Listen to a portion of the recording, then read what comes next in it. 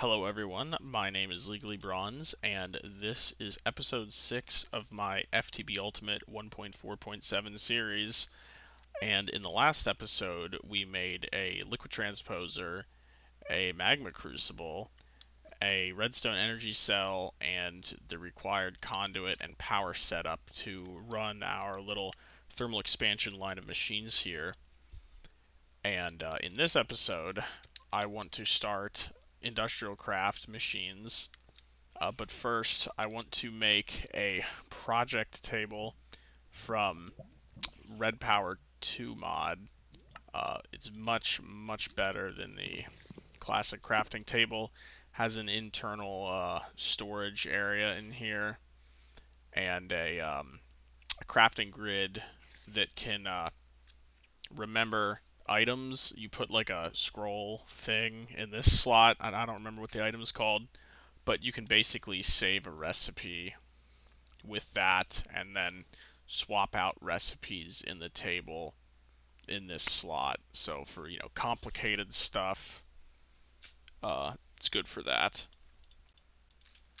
Uh, but anyway, let's get into the IC2 crafting here. And uh, a lot of this might not make sense, but it makes sense in my head. Um, we're going to be making a compressor, a plate bending machine, an extractor, a chainsaw, a mining drill, an MFE, and a geothermal generator to power everything. Um, first, I I'm going to start by making some circuits because basically everything I just listed off requires circuits and uh, we can see how the project table works here a little bit. I don't want to make any of those recipe scroll things just yet because I don't feel that I need to, but... Oh. Why didn't shift click work? Huh. That's supposed to work. Well, okay. Okay, well, that's a little embarrassing, but I, I, I swear this this table is good. Um, Anyway, I guess we're just going to use the old table for now. Uh, anyway, there's some electronic circuits, 10 of them. Uh, we need to make three compressors. Let's get that recipe up. Compressor, three machine blocks, and boom, three compressors. Uh, make the MFE now. Uh, let's see if I can do this from memory. Uh, okay, gold cable, machine block. Oh, I need some redstone for these rubies. You have to make uh, some energy crystals. Four of them. The gold cable goes like this. Energy crystals here. Machine block in the center, MFE. Pretty good. It's an intermediate power storage for industrial craft. Holds, uh, I believe it's 600,000 units of power. Or is it a million? I can't remember. It, they change the values in later versions, so I don't always remember it. Uh, now I'm going to make four pistons, which will be needed for the plate bending machine which I need in order to make the chainsaw and drill. Uh, let's make the extractor.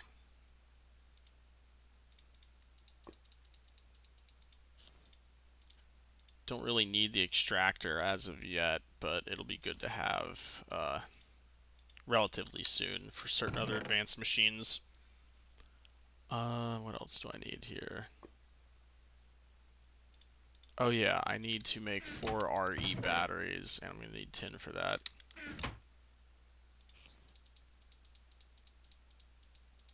RE batteries are needed for the drill and chainsaw and the plate bending machine. And uh, I'll grab the rest of this stuff actually.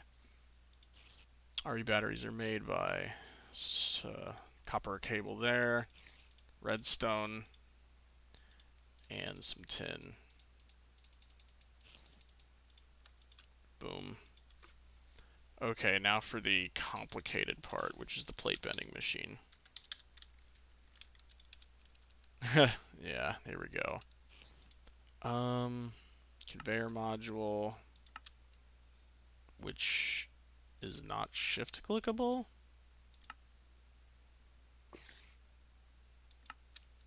Okay, fine. We'll do it the hard way.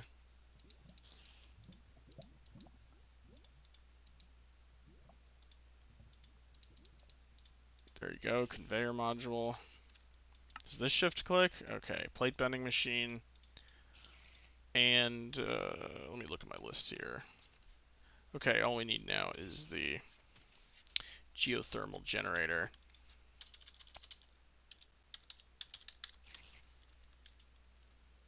And I need two empty cells for that and a generator. And some glass. Uh, need some... Oh, I already had the tin. Where's my glass? Okay, iron furnace, RE battery, refined iron, generator, empty cells. Uh, was it like this? Yeah, there we go. Okay, now comes for the decision time here, which is how to lay this out. I can lay it against this wall here, or maybe go into this wall. I think I'm going to lay it out on the back wall uh, for basic uh, single block machines, and then uh, later I may sort of inset the more complicated multi-block machines into this wall, such as the uh, implosion compressor, uh, industrial grinder, and the uh, industrial blast furnace. But for now, yeah, going against this wall. you got a little trench here. Place a few copper cable. Not really sure how I want to set up the power here with the MFE because I just realized I do not have a wrench, so you need a special uh, wrench in order to be able to move these machines. And I haven't made that yet, so I gotta get this right the first time. And I think I will place that like that. Geothermal generator on top. Uh, compressor here. Get out of here, furnace. Uh, plate bending machine and extractor. And I don't know why I have this other iron furnace. Get out of here. And uh, I guess that's it for now. Now I have this ugly gap because uh, I didn't want that. Anyway, let's get some lava cells and get some power going here. Alright, my lava cells. Oh, I think they're in this bag. Okay.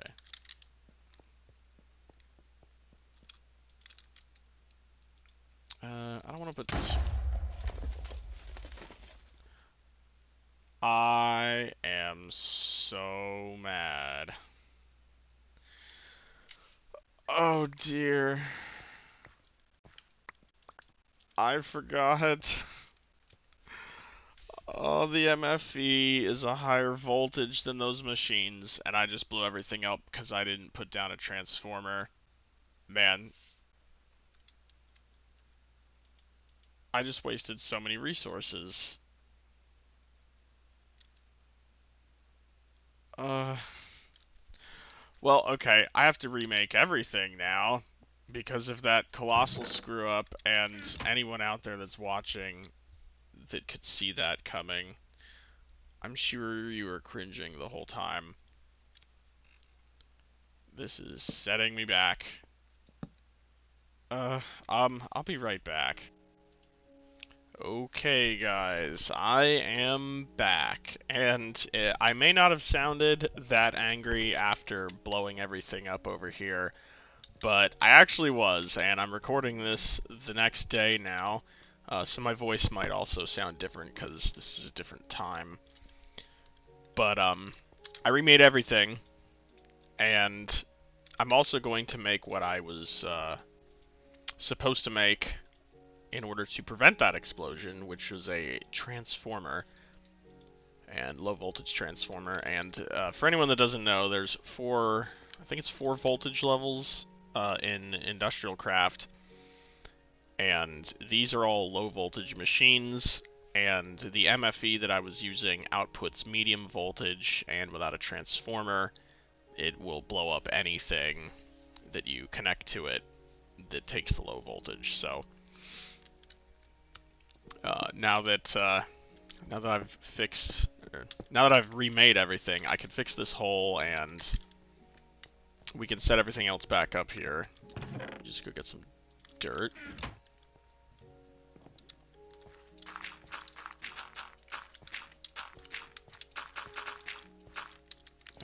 Okay. Fix the wall. I am uh, very, very short on redstone now. Used up almost all of it. I have, like, I think less than half a stack, so I'm going to have to go mining after this. Um, also, I used up most of my rubber. I have a little bit less than a stack of that now, so I also have to go up there and chop down the whole tree farm. But I did have the opportunity to think about how I wanted to set up these machines and uh, my plans for the future with other machine placements, and um, I've decided to put the MFE and power generation in this room, and I'll run the wire under the floor and have machines here along this wall. So, let me lay out some copper cable here.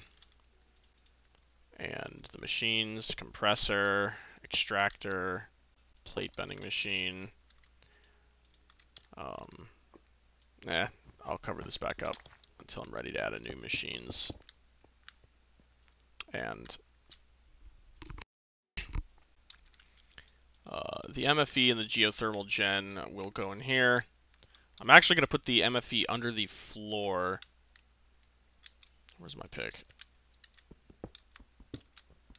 In order to, um, well, no, not under the floor, but it'll be outputting um, energy into a cable directly under it into the floor. So, and I'm going to place it like this. Crap, that's not quite how I wanted it. I wanted it, I wanted it flush with the floor. Okay, but I'll fix that later. Uh, I don't have a wrench to be able to move this now, so I can't move it without breaking it. Uh, just continuously making mistakes here. Anyway, I'll set up the geothermal gen. I'll just stick it right next to it because it can transfer power in uh, to anything that it's sitting next to. So this this will work, uh, and I'll show you that right now. Wait. Lava can, boom, generating electricity. This uh, generator generates uh, 20 EU per tick, and a lava can is worth, uh, as you can see here, 20,000 uh, EU. And later we will upload the geothermal generator to uh, a thermal gen, which will give me uh, an additional 10,000 per tick, or not per tick, per cell. So that's nice, but anyway, so um, here's how a transformer is supposed to work, which is, uh, how do I want to place this?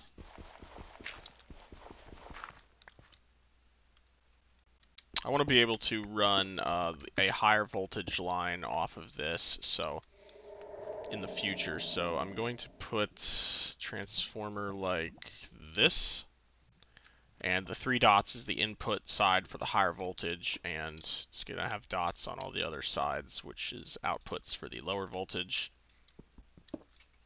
Um, I'm going to need to make some higher voltage cable to be able to run power from this because this copper cable here, it doesn't say on a tooltip, but it only transfers low voltage. So if I uh, put cable here in that spot, the cable will instantly just vaporize. Um, which I would show you, but since I'm so low on resources now from blowing everything up, I am not going to waste the cable. Um,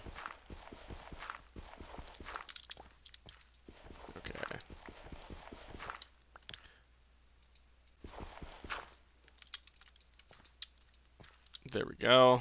These are plugged in and not receiving power yet because this isn't plugged in. Um, I'm going to go make some gold cable. Because that transfers, uh, that will transfer the energy.